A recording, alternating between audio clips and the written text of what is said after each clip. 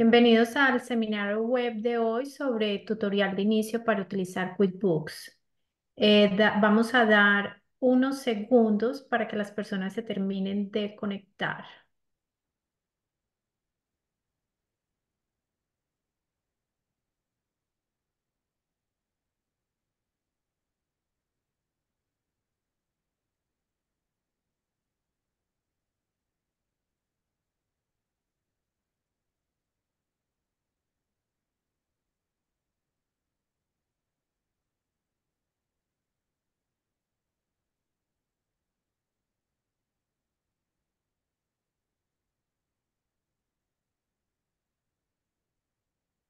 Para su conocimiento, estamos grabando esta presentación con fines educativos para la ASBTDC y podrán encontrar la grabación en nuestro sitio web dentro de las próximas 48 horas. Durante la presentación de hoy, los invitamos a publicar sus preguntas eh, o comentarios en el chat o en la sección de preguntas y respuestas. Demos otros minuticos, unos segundos para que se terminen de conectar, Eduardo. Ok.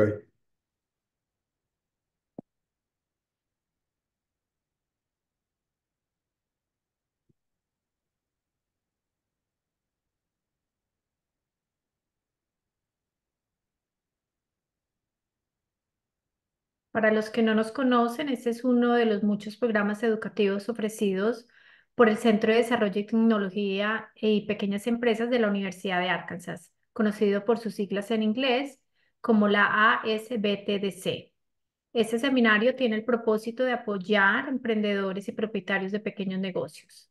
Para aquellos que aún no nos conocen, somos una organización dedicada a asistir a emprendedores tanto en el inicio de sus negocios como en el crecimiento del mismo Ofrecemos asesoramiento y todos los asesoramiento en todos los aspectos del negocio, incluyendo administración, mercadeo, recursos humanos, finanzas y mucho más.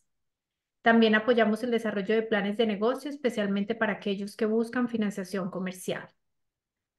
Nuestros servicios los hacemos a través de consultoría, educación y acceso a nuestros estudios de mercado. Todos nuestros servicios son totalmente gratuitos, gracias a nuestra afiliación con la Administración de Empresas y la Universidad de Arkansas. Para acceder a una consulta, les invitamos a visitar nuestra página web y hacer clic en el enlace que voy a proporcionar en el chat en unos minutos. Para la presentación de hoy, les recuerdo publicar sus preguntas y comentarios en el chat. Hoy hablaremos de, sobre tutorial de inicio para utilizar QuickBooks. Este es un seminario web donde aprenderán los conceptos básicos de este programa que optimizarán la gestión financiera del negocio y emprendimiento, desde la creación de una cuenta desde cero hasta la selección de la versión más adecuada de QuickBooks. También les mostraremos cómo conectar las cuentas bancarias o tarjetas de crédito para un seguimiento preciso. Este seminario web será presentado por Eduardo Tauceda. Eduardo es contador público certificado con licencia en Arkansas y Argentina. Cuenta con más de 25 años de experiencia. Con esto eh, damos paso a nuestra presentación, Eduardo. Muy buenos días y muchas gracias de antemano por la colaboración en este tema tan importante para los emprendedores y dueños de negocios. Bueno, muchas gracias, Carolina. Este, bueno, como, como decía, yo soy eh, CPA con licencia en Arkansas y en Argentina. Eh, el grueso de mi experiencia fue como ejecutivo en, IBM, particularmente en el área financiera. Y, ah, y, y mi educación eh, eh, bueno, fue parte en Argentina y ah, también acá en Arkansas, en, el, en la Universidad de Arkansas, donde hice el Master of Accountancy para poder ser CPA registrado aquí también. Bueno, voy a pasar a la página 3 porque eh, QuickBooks puede ser una, una buena o mala herramienta pero más allá de eso va a depender de la calidad de la información que se tenga. no, no es una herramienta mágica, necesita eh, información para, para poder trabajar. Eh, esa información tiene que venir de, um, de un, básicamente de un bank statement, ¿no? Eh, hay muchas formas de hacerlo, pero mi recomendación es hacerlo a través de, de, un bank statement. Para lo cual, lo que voy a necesitar es abrir una cuenta de banco donde tenga ahí todas las, las, este, transacciones del negocio. QuickBooks va a trabajar igual si en vez de tener una cuenta de, de negocio tiene una cuenta personal. QuickBooks no, no va a tener una limitante de operar bajo esa condición, pero eh, en la medida en que yo tenga eh, una cuenta personal en vez de una cuenta de negocio, lo que va a pasar es que voy a tener muchas más transacciones personales para procesar, lo cual va a ser más engorroso el, tratamiento de QuickBooks, me, me va a llevar más tiempo, con una información que desde el punto de vista de negocio no, no va a aportar valor, porque todos los gastos personales no, no, no deberían ser parte de la información de negocio. Eh, pero más allá de si voy a usar una cuenta de banco solamente para las transacciones de negocio o si voy a tener también mezcladas las, las transacciones personales si es una, si una cuenta, si una cuenta personal, lo que sí está claro es que eh, si yo me manejo con transacciones en efectivo, eh, no es que no pueda manejarme con transacciones en efectivo, lo puedo hacer, pero esas transacciones en efectivo no van a fluir a QuickBooks como van a fluir las transacciones del bank statement. Con lo cual, todas esas transacciones en efectivo las tendría que ingresar una por una de forma manual. Es decir, eh, QuickBooks me va a ayudar y va a ser este, una tool que, que, que, va a ser beneficiosa en el uso, en, en, la obtención de información financiera para mi, mi negocio, en tanto y en cuanto yo utilice, tanto como sea posible, la cuenta de banco para operar, tanto para cobrar como para pagar. Cuanto más use, perdón, tanto para, para cobrar como para pagar, hablando de transacciones de negocio exclusivamente, cuanto más le ponga transacciones personales o cuanto más uso haga del efectivo, tanto sea para cobrar como para pagar, más va a tender a distorsionarse QuickBooks o más voy a tener que eh, eh, utilizar este, el ingreso manual de esas transacciones que, que hago en efectivo.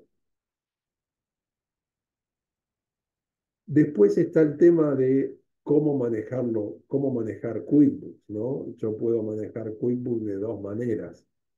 Hay, yo puedo manejar QuickBooks directamente, ¿ok?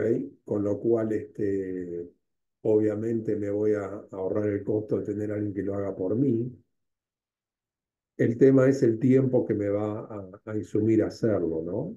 Este, y eso va a depender de la cantidad de transacciones que tenga y de la complejidad que tengan. O puedo contratar el servicio, contratar el servicio de bookkeeping para decir que alguien me maneje QuickBooks, se va a poder hacer de dos maneras distintas, básicamente. Una es, hay este, personas que se dedican a actualizar los registros de QuickBooks, le podemos llamar bookkeepers, este tipo de, de, bookkeeper lo que va a hacer es este, actualizar todos los registros para, para llevar adelante la contabilidad tanto del, de mi situación financiera como de mi situación patrimonial, pero no va a ser más que eso, o sea, se va a limitar a registrar sin, sin dar análisis financiero o, o consejo financiero respecto de la información. La otra forma de contratar es este, contratar a un CPA, donde no solamente me va a hacer la registración de las transacciones, sino también me va a tratar de dar un, valor agregado en cuanto a analizar el negocio y entender un poco los resultados financieros que se están dando.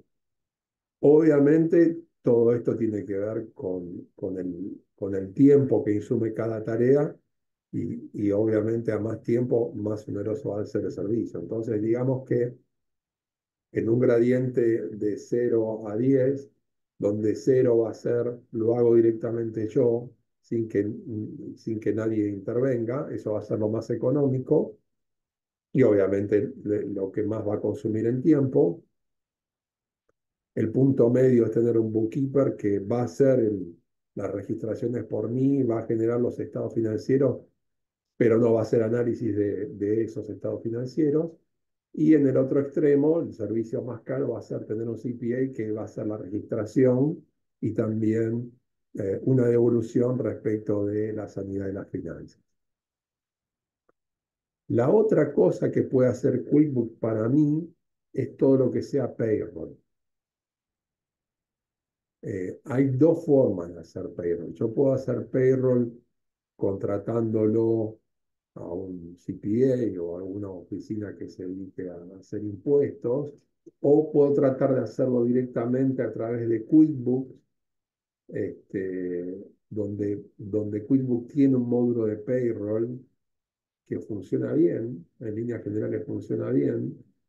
Eh, obviamente es un servicio que va a ser más barato correr el payroll a través de QuickBooks que correr el payroll a través de un CPA o, alguna oficina similar, la diferencia va a estar en el grado de respuesta que voy a tener. Es decir, QuickBooks lo va a hacer en forma este, más económica un CPA.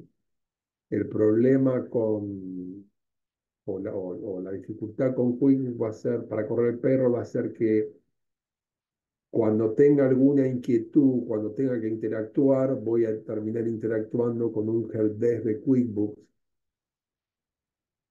con todo lo que eso implica. Eh, va a ser un helpdesk no dedicado, sino un helpdesk que atiende todas las consultas de perro que pueda recibir. Este, en general la respuesta es buena, pero puede haber algún grado de dificultad. Mientras que si contrato un servicio este, a través de un CPA o algo similar, al, al, tener una relación más estrecha con el cliente, generalmente ante cualquier dificultad va a ser más fácil este, solucionarla, ¿no es cierto? Pero bueno, claramente este, al tener un recurso dedicado y, dedicarle más tiempo, va a ser más oneroso que hacerlo a través de QuickBooks. Bueno, dicho esto, voy a pasar a mostrarles eh, dos tipos de QuickBooks distintos que existen.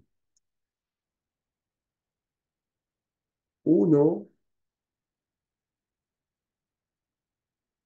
que creo que lo deben estar viendo. Ok. Confirmado, sí. Lo están viendo. Sí. A ver. Sí. Entonces, em, este QuickBook que les estoy mostrando es un QuickBook que se llama QuickBook Desktop. Hay dos tipos de QuickBooks. Hay un QuickBook que se llama QuickBooks Online y un QuickBook que se llama Desktop. La diferencia entre los dos no es de operación. Desde el punto de vista de operación, hacen los dos básicamente lo mismo. Eh, desde el punto de vista de operación y del servicio que presta. La diferencia va a estar en que el QuickBooks Desktop va a correr en mi, en mi PC. El software está instalado en mi PC y corre desde ahí, con lo cual yo no puedo eh, llevármelo eh, a, que corra en otras PC o abrirlo en, en mi en mi este, celular o cosas por el estilo. Va a estar básicamente una PC fija en el lugar donde lo opere, sea, mi casa, o sea, mi negocio. Contra el QuickBooks Online, que eh, en realidad lo que hace es está corriendo en un, en un server en alguna parte, en algún centro de cómputo del mundo, con lo cual yo me puedo conectar, perdón, está está operando con un server de algún centro de cómputo del mundo y está conectado a la nube, ¿no? Lo que se llama la nube. con lo cual, este, al estar en la nube, yo puedo acceder desde cualquier lado, desde cualquier terminal. No necesito ni siquiera que sea una PC, puede ser este, eh, un, un notebook, puede ser cualquier cosa, porque toda la velocidad de procesamiento va a estar en la nube. Va a ser un poquito este, más amable en ese sentido, eh, pero al estar conectado en la nube puede llegar a tener algún problema de tiempo de respuesta, a veces demora un poquito más. Eh, digamos, QuickBook Desktop es más amable, más rápido. Eh, la contracara es que, que no me lo puedo llevar a... No, puedo logonear para usarlo de cualquier lado, esa sería la, dificultad del desktop o, la ventaja del, del, online contra el desktop. Pero repito, desde el punto de vista funcional, conceptualmente hacen lo mismo. El QuickBooks Online eh, no es ni más ni menos que un desarrollo del QuickBooks de desktop. ¿Okay? QuickBooks Desktop es un poco más barato eh, que el QuickBooks Online. No soy experto en el tema, pero tengo la sensación de que QuickBooks Desktop tiende a desaparecer y que, que QuickBooks este, empuja más lo que es el, lo que es el online. ¿Okay? Voy a pasar al online para que lo puedan ver. A ver, déjenme. Déjenme si puedo mostrarles un poquito el online. A ver, sí, acá está.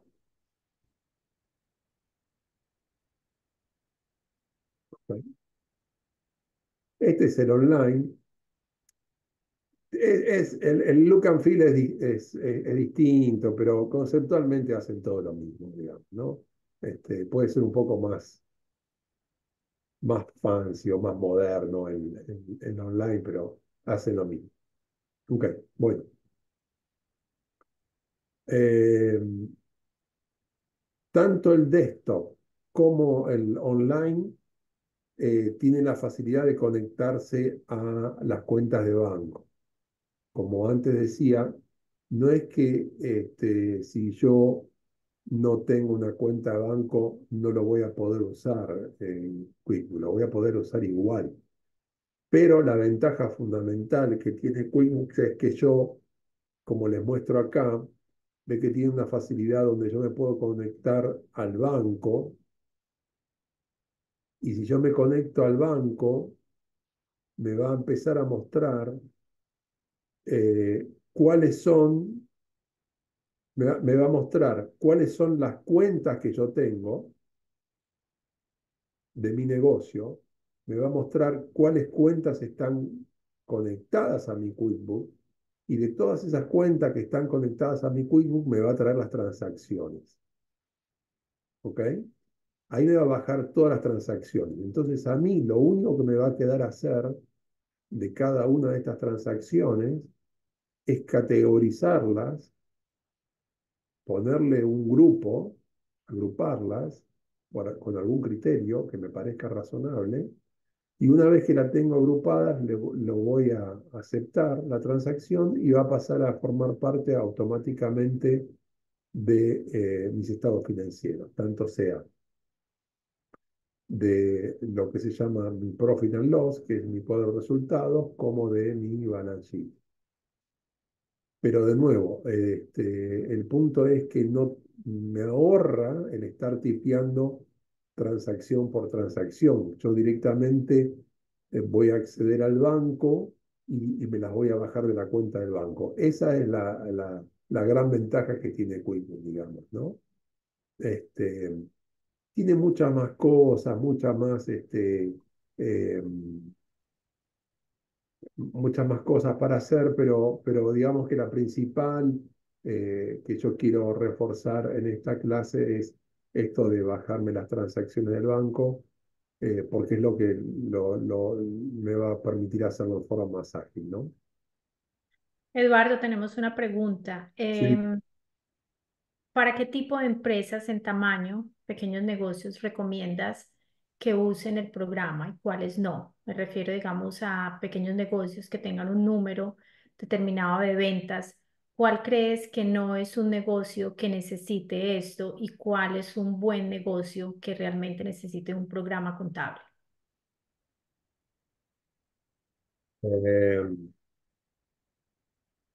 este, QuickBooks es una, una tool pensada para pequeños negocios. Eh, no, no es una tool, tiene un módulo eh, que maneja costos y maneja inventario, pero no, no está pensada para eso, digamos, ¿no? Si es una compañía grande, una compañía muy grande va, va a usar un sistema como SAP o sistemas este, similares. Pero ahí eh, estamos hablando de compañías de, de arriba de, de, de 5, 6, 7 millones de dólares de facturación. Cualquier compañía que, que esté por debajo de esos valores debería funcionar eh, muy bien con QuickBooks. Ahora, QuickBooks no es ni más ni menos que eh, una planilla de Excel eh, un poco más desarrollada. Es decir, no hay nada que yo no pueda hacer con una planilla de Excel que no pueda hacerlo con QuickBooks. La ventaja que va a tener QuickBooks respecto de, de otro tipo de sistema es que lo voy a tener todo centralizado, eh, va a ser más fácil el acceso, eh, me va a, ayudar a tener un poquito de orden.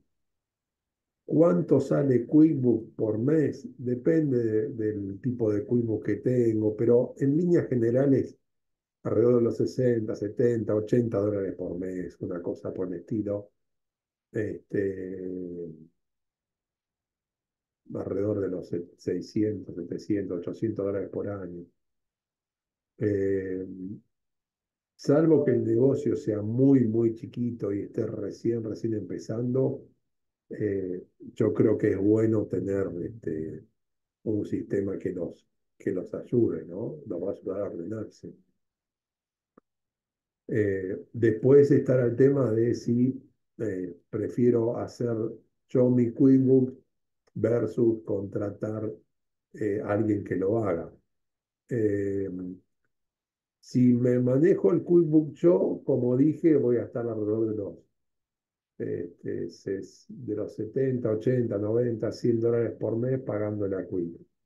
Si lo doy a hacer y no tengo QuickBooks yo, sino que, que le pido a un bookkeeper o a un, a un CPA que tenga el QuickBooks por mí que lo maneje, eso va a andar entre los 150 a 250, 350 dólares por mes, dependiendo de la complejidad del negocio. Entonces, al final del día, todo depende de la ecuación tiempo-costo. Es decir, si yo tengo tiempo para dedicarle a esta tarea y, y, lo puedo hacer y prefiero ahorrarme el costo de pagarle a alguien, este, bueno, tener el QuickBooks directamente yo va a ser la, la opción más económica. Si no me dan los tiempos, la opción más económica va a ser contratar a alguien para, para que lo haga. Pero eh, vuelvo, a líneas generales, para todo lo que sean negocios pequeños, QuickBooks es la tool más común en el mercado. No sé si con eso te contesté, Carolina. Sí. Ok. Gracias. De nada, ¿hay alguna otra pregunta? Por ahora no.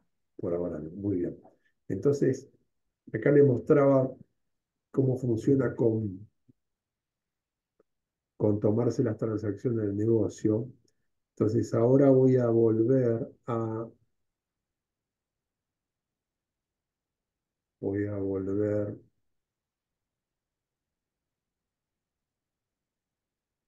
Ok, voy a volver a, al QuickBook Desktop y les voy a tratar de mostrar.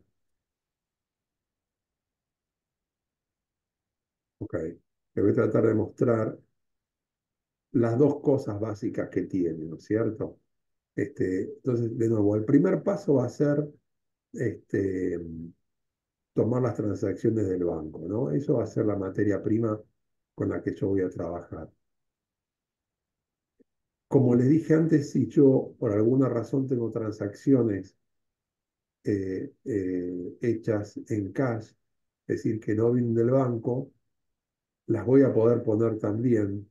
La forma de ponerlas va a ser, como les estoy mostrando acá, hay una opción donde dice hacer mis eh, journal entries. Journal entries es mm, eh, mis, eh, mis transacciones, cómo registrar mis transacciones. Entonces ahí, si yo hago un clic ahí, me va a permitir, me va a permitir hacer cualquier transacción. ¿Ok? Estas no van a estar en el banco, estas pueden ser mis transacciones en cash y las voy a poder agregar acá. Entonces, sí hay una manera de agregarlas. Lo que pasa que obviamente voy a tener que tipear todo versus cuando lo traía del banco, que lo va, va a estar tipeando por mí y lo único que voy a tener que hacer es categorizar. Entonces, va a ser un poquito más este, engorroso en cuanto a tiempo. Pero al final del día, todas esas transacciones que yo estoy registrando deberían alimentar dos cosas. Deberían alimentar lo que se llama un profit and loss. Un profit and loss es eh, eh, un cuadro de resultados. Es decir, yo voy a bajar mis transacciones del banco y después las voy a ir categorizando para tener un producto final que es este que se ve acá. Yo lo que tengo que hacer es dividir mis transacciones entre ingresos y egresos. ¿Cuáles van a ser mis ingresos? Bueno, mis ingresos van a ser todos los depósitos que yo tenga. Eso es lo que va a eh, constituir mi income, que eh, como les muestro son todas estas transacciones. Esto estoy usando mi propia contabilidad de ejemplo, pero para tener una idea. Entonces acá voy a tener listado todos mis clientes, cuánto cobré de cada cliente, y eso va a constituir mis ingresos. Obviamente, este, todo lo que yo ingrese acá tiene que coincidir con lo que tenga en mis cuentas de banco. ¿no? Una de las tareas que yo tengo que hacer es conciliar para asegurarme que todo lo que registré está alineado con, con el banco. Por otro lado, voy a tener todos mis gastos. De nuevo, mis gastos van a venir de las transacciones contables, ya sea de banco o las que haya agregado manualmente, que haya registrado durante el año. Entonces, cada una de esas va a tener asignada una categoría.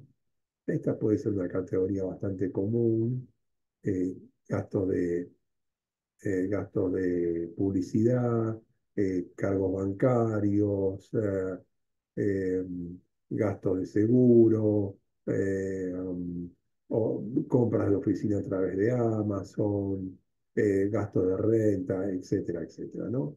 Es un, este, listado de, cuentas este, bastante estándar que, que, puede servir de ejemplo. generalmente QuickBooks tiene su propio eh, listado de cuentas estándar. Eh, cuando yo empiezo a trabajar con una compañía, QuickBooks me va, a preguntar qué tipo de compañía es y de acuerdo al tipo de compañía que es, va a generar un plan de cuentas. ¿Qué es un plan de cuentas? Esto que están viendo acá. Plan de cuentas es, me está diciendo cuáles son las cuentas que yo voy a usar. Entonces, QuickBooks va a generar un plan de cuentas por default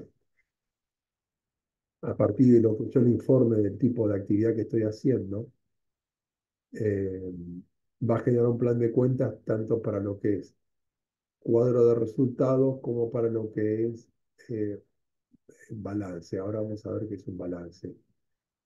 Pero si por alguna razón yo tuviera una cuenta que quisiera usar que QuickBooks no me haya traído, hay otra forma de solucionarlo, que es eh, que es, eh, déjenme ver dónde está. Mm.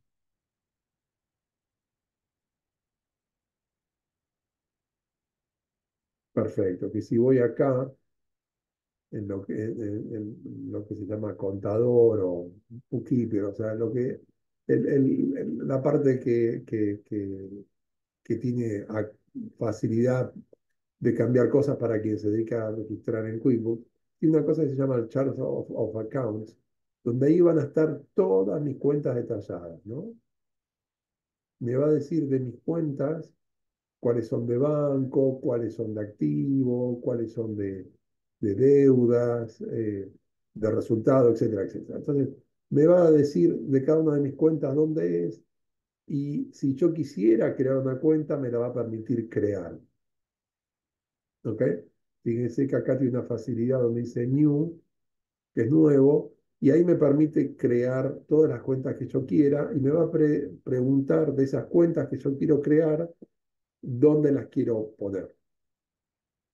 Si son cuentas del cuadro resultado, van a ir al, al income, o sea, lo que es ingresos, o expense, lo que es gastos. Y si son cuentas del, del balance sheet o, o, del balance general, me va a permitir dividirlas entre cuentas de activo fijo, cuentas de banco, cuentas de, pre, de préstamos, cuentas de tarjeta de crédito o equity. ¿Okay?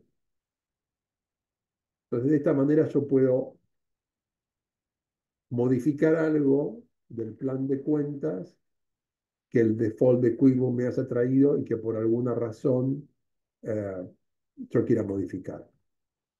¿Ok? Muy bien. Eduardo, tenemos una pregunta. Sí, claro, adelante, por favor. Preguntan si se puede ingresar gastos en efectivos, uh, si no hay recibos o, no, o, algún tipo de invoice. Ok, vamos a, vamos a ir este, con eso. Este, a ver, déjenme ver, quiero confirmar qué es lo que se está eh, viendo. Entonces, primero, una, una moción de orden, digamos.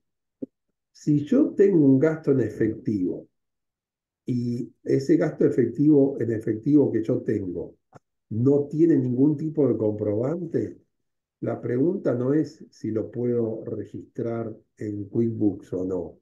Eh, ahí el tema es otro. El tema es, si yo tengo un gasto en efectivo y no tengo ningún recibo, más allá de que lo pueda registrar en QuickBooks o no, el tema es que si algún día me audita la IRS, no voy a tener forma de demostrar que ese gasto es legítimo. Entonces, este, más allá de lo que QuickBooks me permita hacer, el punto es, no debería registrar ningún gasto en efectivo si no tengo un recibo, porque no tengo forma de mostrarle a la IRS y me audita que ese gasto es legítimo. Y al no poder demostrar que el gasto es legítimo, lo que va a hacer el IRS cuando me revise es eh, anularme ese gasto, ¿no? Me va a anular ese gasto y me va a decir que lo puse este, de forma inadecuada y me va a querer reajustar mis taxes en forma retroactiva al momento que yo puse ese gasto, con lo cual la multa puede ser bastante onerosa. Entonces, eh, no es que eh, eh, la pregunta no es si QuickBooks me deja ponerlos o no. La pregunta es, ¿puedo poner un comprobante, ¿puedo poner un gasto en efectivo? La respuesta es sí, en tanto y en cuanto pueda demostrar que realmente el gasto existió. Y la forma de demostrarlo es tener un recibo. ¿Ok? Ok. Ahora, desde el punto de vista operativo, desde el punto de vista operativo, si yo lo quisiera ingresar en QuickBooks, si tuviera un recibo, de, de nuevo, QuickBooks es, es, no es más que, ni menos que una planilla de Excel un poco más sofisticado. QuickBooks no tiene inteligencia para decirme si lo que estoy haciendo está bien o está mal. QuickBooks va a registrar lo que yo le ponga, cualquier cosa fuese. ¿Ok? Entonces, de nuevo, eh, puedo, desde el punto de vista operativo, lo que yo voy a hacer es, de nuevo, voy a ir acá donde dice Accountant, voy a ir acá donde dice Make General Journal Entries, y ahí yo le voy a registrar lo que le quiera poner, inclusive si fuera una transacción en efectivo no sé, digamos que haya comprado un, este, uh, un,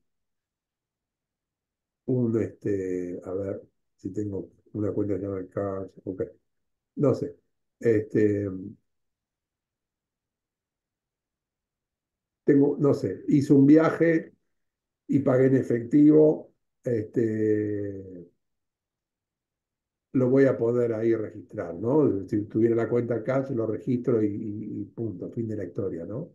Entonces, como ven, yo en QuickBooks puedo registrar cualquier cosa. El punto va a ser no tanto eh, si QuickBooks me lo deja hacer o no, porque ahí les mostré que sí me lo va a dejar hacer. El punto va a ser qué documentación de respaldo tengo para eh, el día de mañana esa registración que hice poder defenderla ante el, ante el IRS. No sé si con eso te contesté, Carolina. Eh, sí, la, el emprendedor, el participante que hizo la pregunta dice que sí. Gracias. Ok, muy bien, perfecto. Entonces volvamos.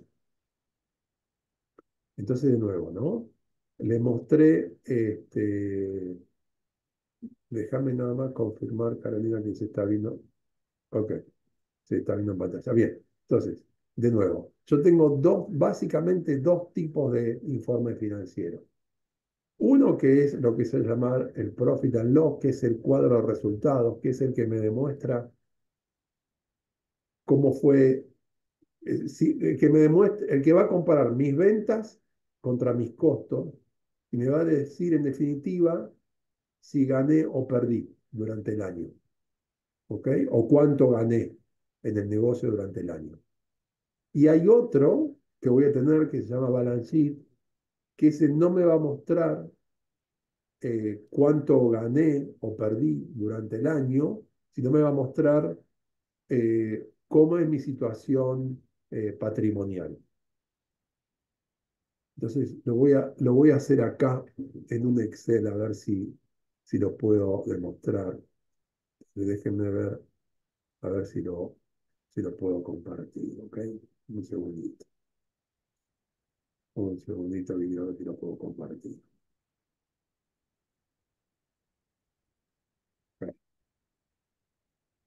Un segundito, a ver si puedo hacer un Excel.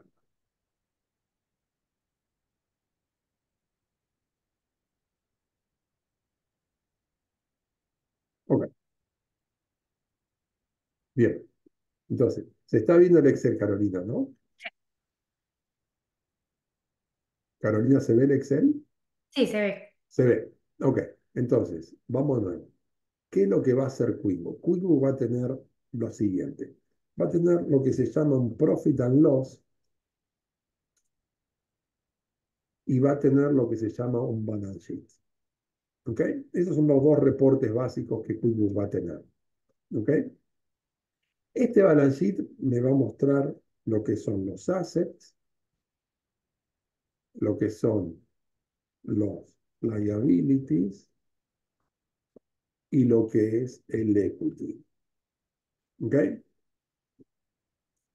¿Qué, qué es todo esto? Dice, supongamos que para, para explicarle lo que es un balance lo que es un balance, voy a poner ejemplo de una casa. ¿Ok? Supongamos que, todo, supongamos que usted tiene una casa y que esa casa vale 500 mil dólares. ¿Ok? Vale 500 mil dólares. ¿Ok? Entonces, esos son mis activos, lo que vale la casa, 500 mil. Ahora, sobre esa casa yo tengo un mortgage. ¿Ok? Y supongamos que ese mortgage es de 300 mil dólares. ¿Ok? Bien. Entonces, si yo tengo una casa que vale 500 mil y esa casa tiene una deuda o un mortgage de 300 mil, mi equity va a ser 200 mil. Es decir, la casa son todos mis activos. El mortgage son las deudas y la diferencia entre lo que vale la casa y el mortgage que tengo se llama equity, que es lo que en castellano llamamos patrimonio neto, es lo que realmente es mío. Es decir, si mañana vendo mi casa y mi casa vale 500, 300 mil le voy a tener que dar de nuevo al banco y 200 mil es lo que yo me voy a quedar. Eso es lo que se llama mi equity. ¿Ok? Entonces, ¿para qué sirve un balance sheet? Un balance sheet sirve para saber cuántos bienes tiene la compañía, cuánto debe la compañía y cuánto efectivamente posee el dueño de la compañía.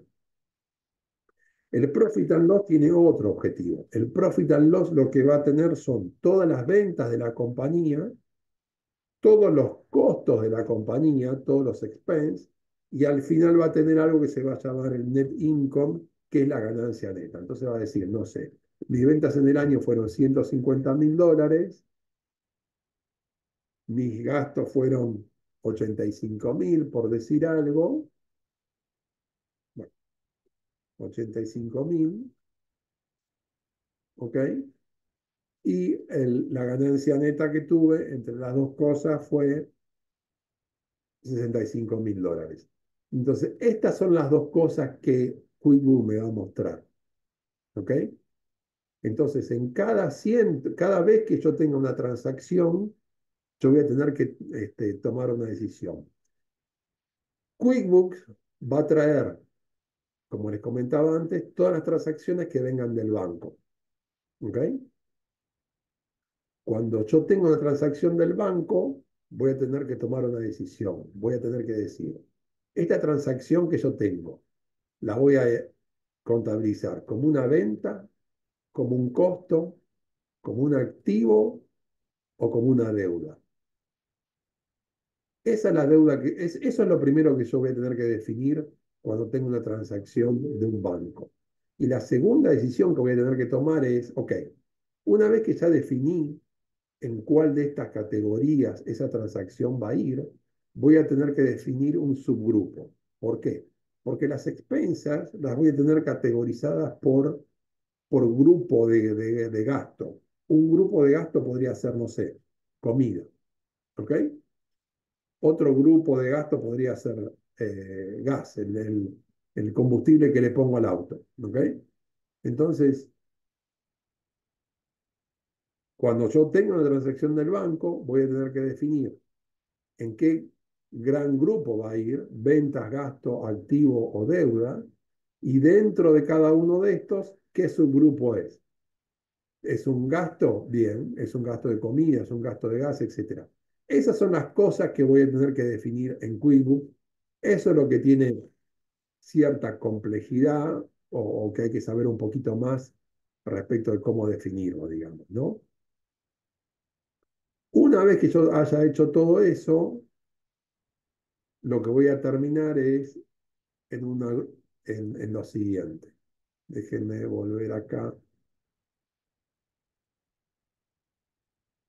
Ok. Entonces lo vuelvo a mostrar, ¿no? Esto es lo que le he mostrado. Esto es el balance sheet, ¿ven?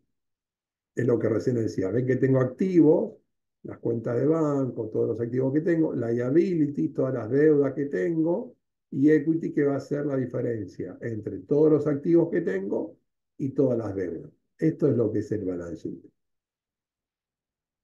Y el otro grupo grande que tengo va a ser el profit and loss, ¿no es cierto? Que ahí me va a mostrar, de nuevo, ahí le pongo todo el año para que lo puedan ver, para que se den una idea. Este, esto va a ser Esto va a ser todas las transacciones del año agrupadas por ingresos y gastos, y dentro de los gastos las distintas categorías, y eso me va a decir, tuve un ingreso total de 141 mil dólares, tuve gastos por 108 mil, mi ganancia pura fue 33 mil dólares, ¿no es cierto? Eso es lo que está diciendo. Y eso es lo que QuickBook va, va a hacer, básicamente. Ahora bien, cada uno de estos ven que yo tengo la posibilidad de explotarlo acá y me va a mostrar el detalle de todas las transacciones que lo conforman. Entonces, por ejemplo, acá, esto es por cada una transacción, ahí tiene la cuenta del banco de la que vino, la transacción bancaria y a qué cuenta lo asigné. Esto es lo que voy a tener que hacer por cada transacción bancaria. ¿Ok? Entonces, de nuevo, tengo una sumatoria de transacciones bancarias que voy a tener que categorizar en, vuelvo acá dos segunditos al Excel. Entonces, se está viendo el Excel de nuevo, ¿no, Carolina? ¿Sí? Ok. Entonces, mi materia prima son todas las transacciones bancarias. Puedo tener transacciones que no sean bancarias, puedo tener eh, transacciones manuales. sí, las puedo tener, pero eh, las puedo tener, pero este, debería tener un, un, recibo para confirmar que la, que la transacción fue realmente válida. Más allá de que QuickBooks no me lo pida, lo tengo que tener porque me lo puede pedir el IRS el día de mañana si me. Entonces, el, el, el, la materia prima para QuickBooks van a ser estas transacciones, ya sean bancarias o, o de cash, y esas transacciones las voy a tener que dividir en dos grandes grupos. Cuentas de balance general o cuentas de resultados. Balance general son los que se llaman patrimoniales. Vuelvo a decir, eso es los activos que tengo, son los bienes materiales que yo tenga o las deudas que yo tenga. Y después van a estar las de resultado, que son todas las que agrupo en el profit and loss, que son todas las ventas que haya tenido o todos los gastos que haya tenido. Una vez que yo defino si la transacción es de resultado, es decir, o una venta o un costo, o de patrimonial, es decir, un activo o una deuda, voy a tener que definir dentro de cada una a qué subgrupo pertenece. ¿Y dónde están los subgrupos? ¿Dónde los puedo ver? Bueno, los subgrupos van a estar en el chart of accounts que es todo esto que les muestro acá, que define cuáles son todos los subgrupos que yo cree, divididos en cuentas de banco, cuentas de activo, cuentas de activo fijo, cuentas de resultado, de gasto, etc. Estos son todos los subgrupos que yo armé. ¿Okay? Y el resultado final de eso, una vez que se están agrupando, va a ser o este cuadro de resultados o este balancito. ¿Ok? Muy bien. Ahora, esa materia prima, esa materia prima que yo estoy este, trabajando, eh, QuickBooks la va a tener disponible en forma diaria. Es decir, QuickBooks va a estar bajando las transacciones del banco en forma diaria. Eh, yo lo que tengo que, este, un segundo, voy a, este, voy a parar. Ok. Bien. Este, yo esas transacciones que QuickBooks va a estar bajándome en forma, en forma diaria, yo las puedo ir registrando en QuickBooks, es decir, agrupándola con todos los distintas eh, agrupaciones que le dije recién, eso lo puedo hacer o en forma diaria si lo quisiera, o en forma mensual, y no más allá de dos meses, porque si pasan más de dos meses, QuickBooks, todas las transacciones de banco que yo bajé, las va a borrar y las voy a perder. Y, y, todo el truco es evitar estar cargando las transacciones una por una, ¿no? Entonces, este, si yo quiero aprovechar esa ventaja de QuickBooks, de tomar las transacciones del banco, debería tener la precaución de estar actualizando QuickBooks no más allá de cada dos meses. ¿Ok? Este, una vez que yo ya bajé la transacción y la, la puse en mi cuenta bancaria, perdón, y la puse en mi profit and loss o en mi balance sheet, la transacción ya queda registrada y después voy a tener hasta, hasta fin de año para corregirla y hacer un, un, estado financiero que pueda reportar. Estos estados financieros eh, son importantes, por ejemplo, a la hora de, en dos cosas, ¿no? Número uno, son los que voy a utilizar para poder reportar mis taxes, pero también si en algún momento yo quisiera pedir un préstamo a nombre de la compañía, me va, el banco me va a pedir estos, estos reportes financieros, ¿no? Tanto lo que mostré de Profit and Loss como lo que mostré de balance general. No sé, Carolina, si tenemos alguna pregunta más o no hasta ahora. No, por ahora no tenemos ninguna pregunta. Muy bien, entonces si no tenemos ninguna pregunta, voy a volver ahora a eh, a lo que es este, eh, el PowerPoint Denme un segundito para eh, compartir de nuevo la pantalla. Ok, entonces ahí, ahí estamos con los últimos dos charts que tengo para, para mostrar, ¿no? Entonces, este, eh, de nuevo, hay muchas maneras de llevar adelante QuickBooks, lo pueden llevar este, eh, eh, adelante ustedes directamente, o pueden tener este, un bookkeeper que los haga por ustedes, o un CPA. Y acá este, voy a tomarme dos minutos para explicar qué es un CPA, porque a veces la comunidad latina no está tan este, acostumbrada a trabajar con un CPA. Un CPA es, es un contador este, certificado.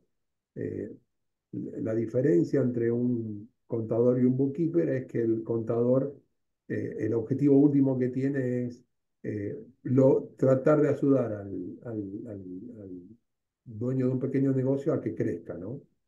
ese es el objetivo último del CPA. Y en esto de ayudarlo para que crezca tiene que ver con generar información contable que le ayuda a entender mejor su negocio y usar esa información contable para la preparación de los taxes, ¿no? Eh, un CPA es una persona que eh, para poder graduarse como tal tiene que, eh, tiene que ir al college, tiene que no solamente ir al college y, tener un, un bachelor de accounting, sino también tener un master de accounting, o sea, tiene que tener por lo menos eh, cinco o seis años de estudio universitario y sobre eso tiene que dar un examen de CPA que tiene una tasa de aprobación de alrededor del 40%.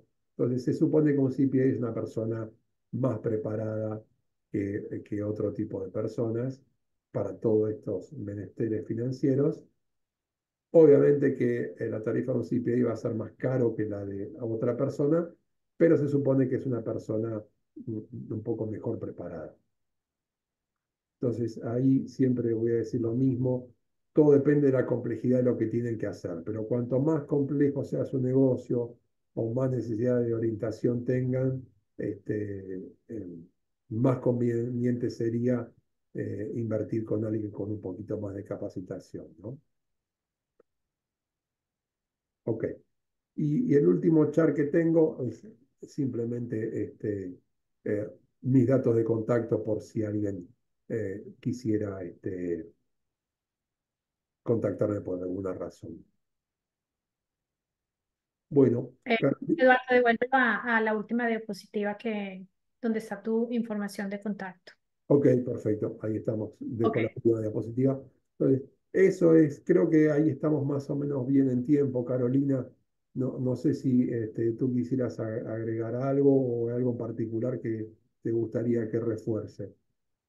Bueno, no, creo que, bueno, como lo habíamos practicado antes, este es eh, hablar de QuickBooks, mm, necesitaríamos más tiempo.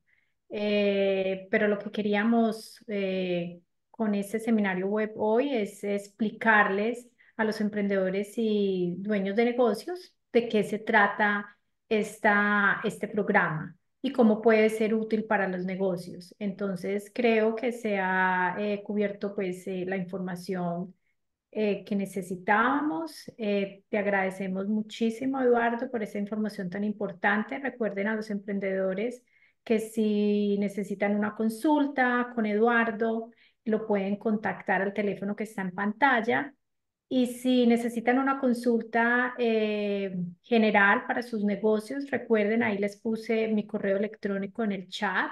Me pueden contactar o registrarse directamente al link. Déjame yo confirmar a ver si tenemos alguna pregunta. No. Eh, entonces, dime. No, bueno, de nuevo, ¿no? Básicamente eh, voy a volver dos segunditos a, al Excel si me permiten, este, porque esto es lo que quisiera que, que por lo menos les quede. Este, vuelvo a reforzar, eh, el objetivo último de, eh, de, de QuickBooks es crear dos reportes financieros para ustedes. Uno que va a ser el detalle de cómo le fue al negocio respecto de sus de, de, de su situación de ventas y qué utilidad última dejaron esas ventas. Y un segundo aspecto que es decir, ok, más allá de que mis ventas hayan sido buenas o malas, ¿cuál es mi situación eh, patrimonial? ¿Mis activos superan las deudas que yo tengo o tengo más deudas que activos? Eh, ¿Cuál es mi situación financiera? Eso es lo que QuickBooks va a terminar mostrando. Ese es el resultado final de QuickBooks y la materia prima para hacerlo van a ser mis transacciones bancarias fundamentalmente y en tanto y en cuanto tenga operaciones de, hechas en cash y con respaldo, eso va a ser parte de la materia prima para generar el producto final, que son estos dos estados financieros. Perfecto, Eduardo. Y para finalizar, tengo una pregunta. Si algún emprendedor o dueño de negocio que no tiene un programa contable, por algún motivo decidiera adquirirlo, comprarlo, eh, ¿se recibe algún tipo de soporte por parte de la empresa QuickBooks o es eh, algo ya que el emprendedor le toca aprender por sí mismo eh, cómo manejar el programa? No, QuickBooks, QuickBooks la respuesta es no.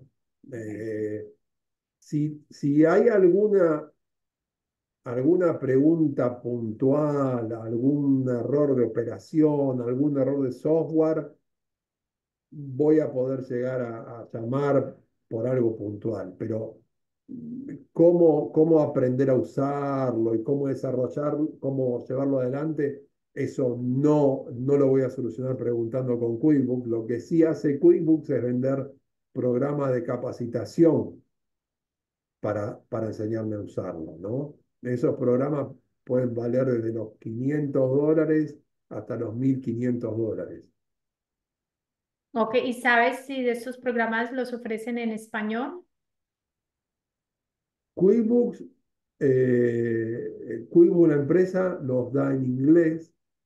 Eh, después, lo que tiene QuickBooks son como representantes eh, y hay algunos representantes que eh, ofrecen el curso en español.